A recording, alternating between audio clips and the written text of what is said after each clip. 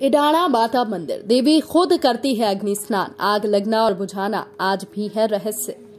नवरात्रि में माता रानी के अनेक रूपों की पूजा की जाती है। देश भर में लोग सच्ची श्रद्धा से माता की पूजा करते हैं और व्रत रखते हैं। नवरात्रि के दौरान माँ देवी की अनेक कहानियाँ सुनने को मिलती हैं। आज हम आपको माता रानी के एक अनोखे मंदिर के बारे में बता रहे हैं। आपको जानकर हैरानी होगी कि इस मंदिर में देवी माँ खुद अग्नि स्नान करती हैं।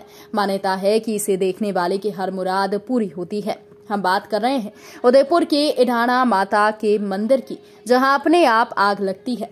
राजस्थान की लेक सिटी उदयपुर जिला मुख्यालय से करीब 60 किलोमीटर दूर कुराबड़ बम्बोरा मार्ग पर अरावली की पहाड़ियों के बीच स्थित गाँव बम्बोरा में देवी माँ की प्रसिद्ध शक्तिपीठ है।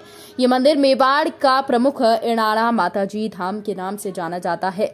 बरगद के पेड़ के नीचे यहाँ देवी विराजमान है।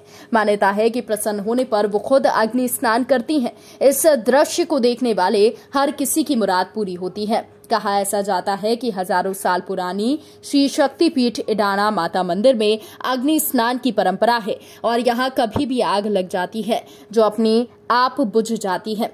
बताया गया कि देवी माँ को लेकर श्रद्धालुओं के मन में गहरी आस्था है। दूर दूर से श्रद्धालु माता रानी के जयकारे लगाते आते हैं।